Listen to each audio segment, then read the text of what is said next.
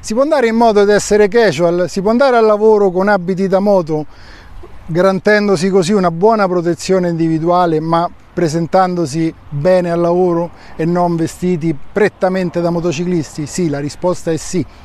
E come vedete io sono vestito da moto, ho tutti, tutti i componenti da moto addosso a me ma sono con un abbigliamento che mi consente di andare anche in ufficio. Iniziamo dalle scarpe.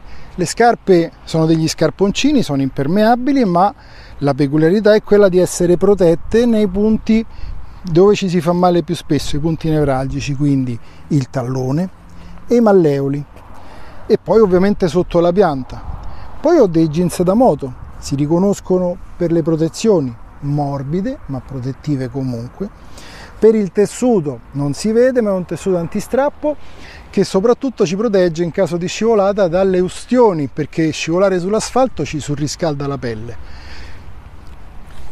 Poi ovviamente qui si parla di un capo più motociclistico. Il paraschiena è fondamentale perché le lesioni spinali inutile dirlo sono sempre gravissime le paghiamo molto care. Questo possiamo portarlo sotto la giacca.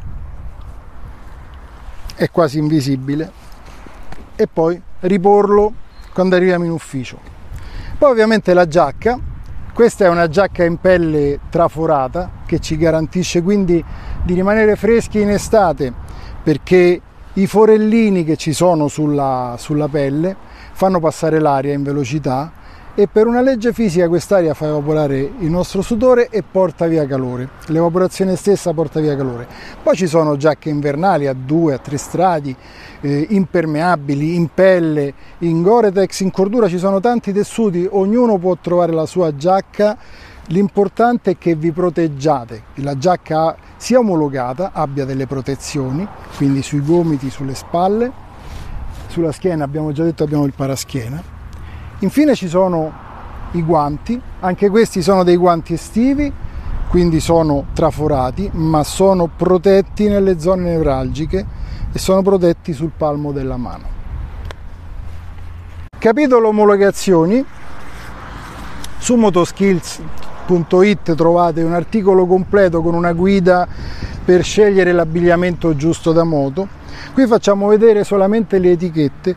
Ogni capo specifico da moto è soggetto a omologazione. Quindi controllate le etichette.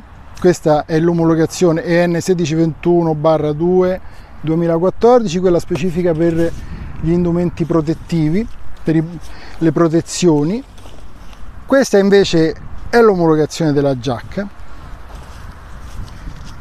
anche in questo caso c'è un codice numerico EN17092 c'è il protocollo d'omologazione c'è la lettera AA si divide in A semplice in 2A e in 3A leggete l'articolo su motoskills.it dove c'è spiegato tutto. Mi raccomando controllate sempre le etichette.